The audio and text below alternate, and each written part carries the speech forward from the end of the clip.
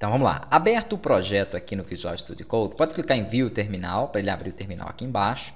E nós vamos ter que acessar tá, essa pasta do terminal. Se não tiver aqui, ó, no meu já apareceu. Caso não tenha, você vai dar um C2 ponto barra, depois CD React, aqueles mesmo, mesmo procedimento que eu já mostrei na aula anterior.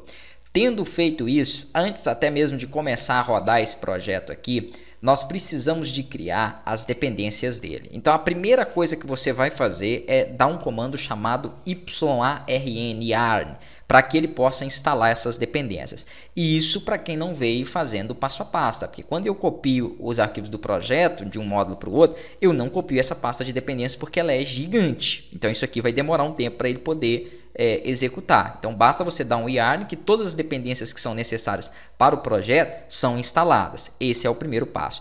Enquanto ele instala essas necessidades, vamos configurar o restante. Então o que nós temos de restante aqui dentro do projeto? Além dos arquivos do projeto, deixa eu vir aqui para os arquivos onde estão a pasta. Hum, onde que é? Onde que é? Aqui. Ó. Nós temos, deixa eu vir para ela aqui mais dois outros arquivos que nós temos que tratar aqui, tá? Que é o arquivo da, das APIs, então aqui ó, API igreja e o banco de dados. É, aqui é o seguinte, você vai ter que vir agora no seu plano de hospedagem, se você não tem um plano de hospedagem, você vai continuar na estrutura local mesmo, se você quiser testar esse projeto, tá?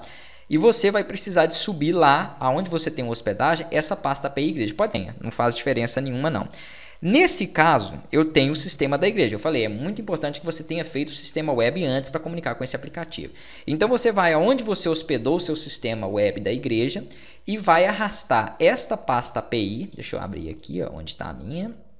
A minha até estava dentro da pasta igreja mesmo, tá vendo? Eu vou colocar ela aqui dentro, ó, API igreja. Só que eu vou ter que fazer o seguinte, antes esqueci de uma coisinha. Eu tenho que apontar o banco de dados. Então eu tenho aqui o meu projeto né, da igreja aberto. Eu vou vir para o banco de dados. Esse é o projeto web, tá? Então ele tem aqui ó, já a conexão com aquele banco de dados. Deixa eu ver quais foram as credenciais.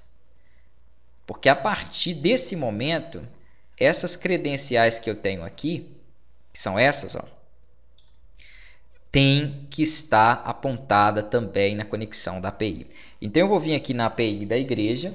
Então essa, essa, essa é a pasta da API de igrejas tá, que nós desenvolvemos. Você vai abrir ela aí com qualquer editor de código e vai no arquivo conexão. E aqui você vai substituir essas credenciais que até então apontavam para o servidor local ó, para aonde você tem a sua hospedagem. Não importa se você não fez o projeto da igreja, tá? Você tem que ter um servidor hospedado para poder jogar o banco de dados né, de acordo com aquelas credenciais. Então eu já tenho lá o meu banco de dados. Como eu já hospedei o projeto da igreja, tudo fica mais fácil.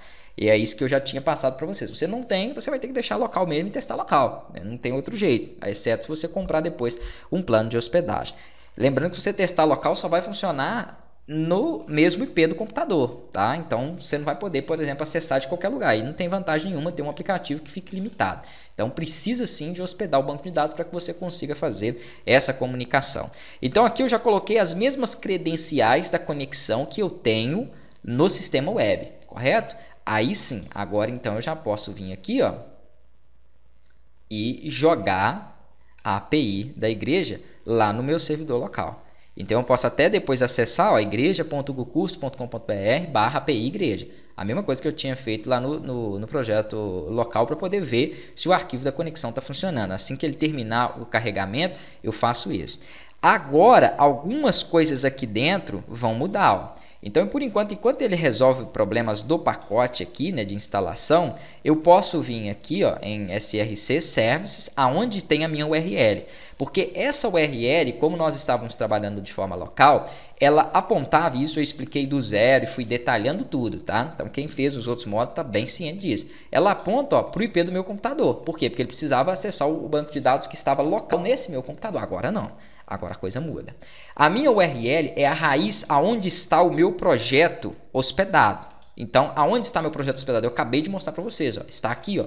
é igreja.gucursos.com.br barra. É essa aqui a minha URL agora. Não é mais localhost barra igreja. Né? No caso aqui eu não podia nem escrever localhost porque eu tenho que passar o IP. Antes era isso. Esse número ele corresponde ao IP da minha máquina. Então era o localhost.